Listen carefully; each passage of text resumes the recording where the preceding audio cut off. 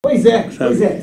De- Deixa eu falar uma coisa, assim, falando, falando com a maior ah, seriedade que um ser humano pode falar com o outro. Veja, eu espero que não.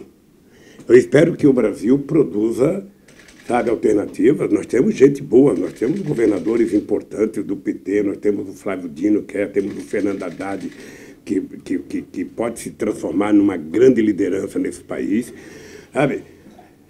Ah, ah, eu acho, espero que a gente crie alternativas, que não precise ser o Lula candidato outra vez, porque se eu sair daqui, eu vou completar 74 anos, dia 27 de outubro. Prepare o presente para mim. Sabe, embora eu me sinta um jovem de 20 anos, embora eu me sinta um jovem de 20 anos, eu vou ter 74 anos de idade. Eu, eu brinco para poder me enganar, eu brinco que vou viver 120 anos, porque a ciência diz que o cara que vai viver 120 anos já nasceu. E por que não eu? Sabe, eu sou tão bom, Deus gosta tanto de mim, então acho que vai ser eu. Ah, mas eu espero que tenha gente nova, eu espero que a gente seja capaz de produzir quadros e mais quadros, e que eu me contente em ser um cabo eleitoral sabe, e viver tranquilo, vendo o Brasil ter um presidente que cuide desse povo. Só tem uma coisa para a gente fazer nesse país, é cuidar do povo. O povo brasileiro tem o direito, o direito de tomar café de manhã, de almoçar, de jantar, de trabalhar, de ter acesso à cultura, de poder descansar umas férias, de poder comprar um presente no Natal. É elementar. Quem está dizendo isso para vocês é um cara que foi ter o primeiro presente na sua vida com 17 anos de idade. Uma bicicleta velha que eu comprei, que a corrente quebrava cada duas pedaladas que eu dava. Eu ficava mais consertando a corrente do que andando. Então, eh, essa sociedade, ela precisa viver. Um presidente que destampa a panela de pressão do ódio e deixa evaporar o ódio. Nós precisamos de paz, nós precisamos de tranquilidade, de harmonia. Esse país sempre foi um país alegre, um país harmônico. Hoje eu recebi informações aqui dentro que família não se reúne mais, que filho não vai mais almoçar na casa do pai, que irmão não se encontra mais com o irmão, porque estão tão, tão, tão, tão discordando da política. Não é para isso que a política foi feita. E não é no Brasil, é no mundo. É no mundo. É, eu vi uma pesquisa esses dias que antigamente você perguntava para o republicano se ele deixava uma mulher casar, uma filha casar com, o filho de um democrata, você tinha só 4 ou 5% que dizia não. Agora, a maioria diz não. Ou seja, virou uma, uma, uma, um- um- um- uma pregação do ódio que, que eu, eu, eu, eu não tinha conhecido na minha vida. Eu não tinha conhecido. Ninguém. Ninguém Ah, Eu, eu não tinha conhecido, não tinha conhecido. Então, como é que você combate esse ódio? Fazendo guerra? Não. Eu acho que é distribuindo bom senso e amor nesse país. É por isso que eu, eu, eu aqui dentro, veja, embora eu, eu, eu sou muito magoado e muito ofendido de estar aqui. Não pense que eu estou satisfeito aqui. Eu sei das mentiras, das sacanagens, da, da, das pilantragens que fizeram comigo sabe? Eu sei das mentiras que contaram no meu processo, eu sei dos inquéritos mentirosos que fizeram contra mim. Ah, mas eu estou aqui dentro, eu, eu durmo, eu almoço, eu janto. Sabe? Presidente, se o senhor receber a passagem para ah, o regime domiciliar, o senhor já disse que o senhor não aceita. O senhor não aceita, o senhor faz o quê? Deixa eu te dizer uma coisa para mim, isso é um tema polêmico, polêmico para alguns amigos meus, polêmico para a minha família. E você sabe que eu já disse que quero casar outra vez. é, então, tem vários motivos aí, né? Tenho uma namorada e que quer que eu saia, obviamente. Mas deixa eu te falar uma coisa, eu tenho que fazer um- um- uma, uma explicação. Ah, dignidade e caráter você não compra em shopping, você não compra em supermercado, você não compra na 25 de março, você não compra. Você vai na rua que tem o melhor comércio nos Estados Unidos, você não encontra caráter para vender, você não encontra dignidade. Isso você adquire na sua formação. E eu, graças a, a uma mulher chamada Dona Lindu, que nasceu e morreu analfabeta, eu aprendi a ter caráter e aprendi a saber o que é dignidade. Eu aprendi a andar de cabeça erguida.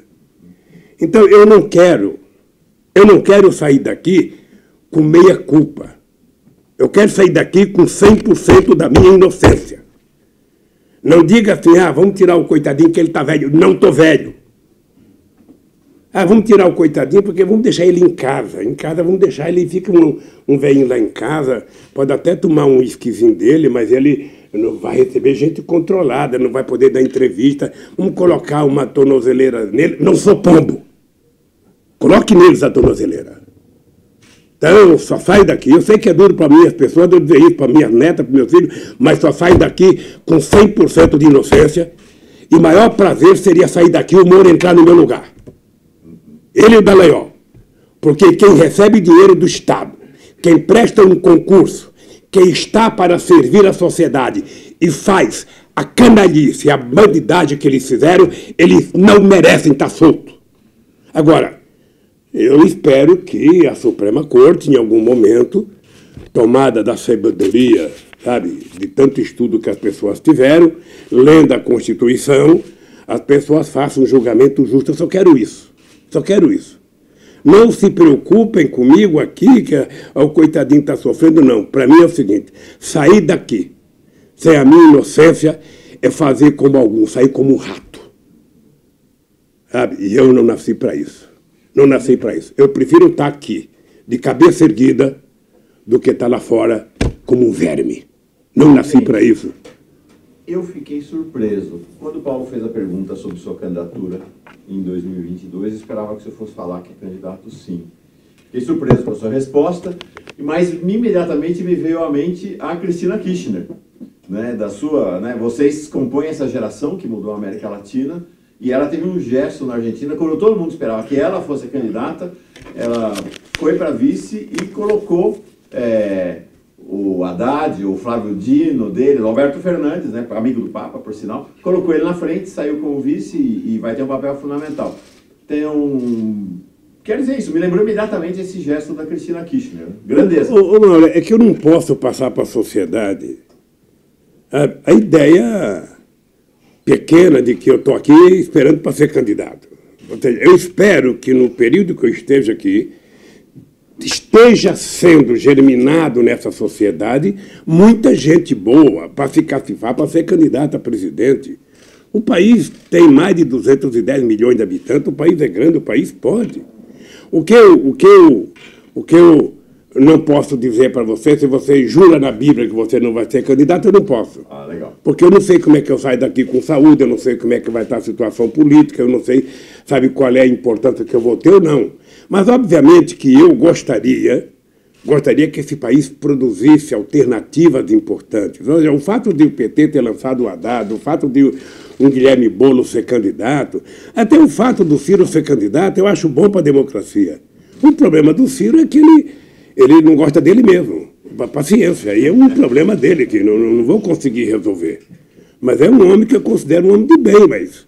Quando sabe? você fala que não pode jurar sobre a Bíblia que não vai ser candidato, já tem gente, muita gente se alegrando. Tá? não, deixa eu falar uma coisa É porque eu não posso, é eu não posso ficar aqui dentro com a minha cabeça, sabe, com a masturbação eleitoral, sabe? Não posso ficar. Eu tenho que ficar aqui, sabe, tentando cuidar, sabe, da minha alma, do meu corpo, da minha cabeça, tentando incentivar minha família a viver uh, sem mim Uh, mas eu, eu, eu, eu, eu, quero, eu, quero, eu quero. Uma coisa que eu não abro mão é de ter força política. Eu sempre dizia no PT o seguinte, e no sindicato: quem quiser vir para o meu lugar, só tem um jeito, é trabalhar mais do que eu. Porque quando eu sair daqui, o Moro se prepare, o Dallagnol se prepare, o Bolsonaro se prepare, porque eu vou para a rua. E vou conversar com o povo brasileiro vou discutir. Eu sei que é um trabalho árduo para convencer o povo de muitas coisas. Eu tenho quantas horas de jornal nacional dizendo que eu sou bandido e dizendo que o Moro é mocinho. Tá? O que eles ficam muito, sabe, nervosos é como é que eles não conseguiram destruir o Lula ainda. E não vão destruir porque o Lula não é o Lula, eu já falei para eles.